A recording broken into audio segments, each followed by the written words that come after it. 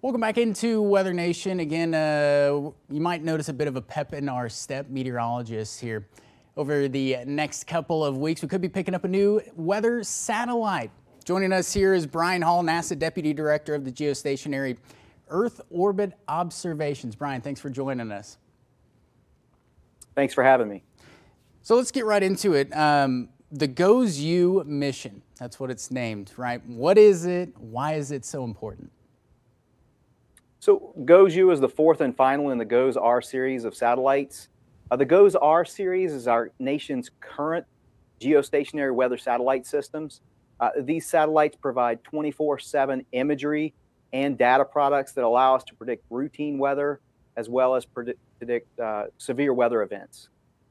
And I hear it's got a new instrument on board. What is that instrument? It's going to be focused on the space weather from the sun. What is it? What does it do? Yes, we're very excited to host the Compact Coronagraph or CCOR. Uh, as you mentioned, it will study the sun. Uh, this will block out the center of the sun to really focus on the outer boundary or the corona of the sun.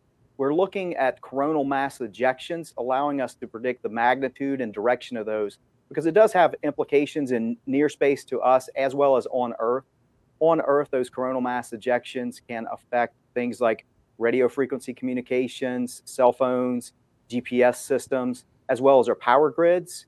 Uh, in space, it can disrupt satellite communications, even cause damage to satellites, and be harmful to our astronauts who are in space. So, this allows us uh, to predict um, the magnitude and direction of those, and we can take some preventative measures uh, to mitigate uh, the impacts of coronal mass ejection. Here in our area, we're particularly concerned about hurricanes and, and storm tracking.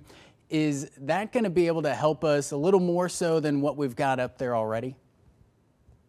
So the GOES-U um, actually extends the GOES-R series. It's the same instruments with the exception of the uh, coronagraph.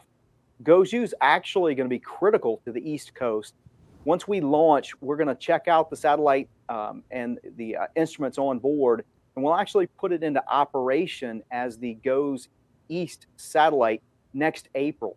So there it will study the Atlantic basin that really allows us to see how storm systems are forming off the coast of Africa, see how they progress, so we can look at the intensity and the track of uh, hurricane systems.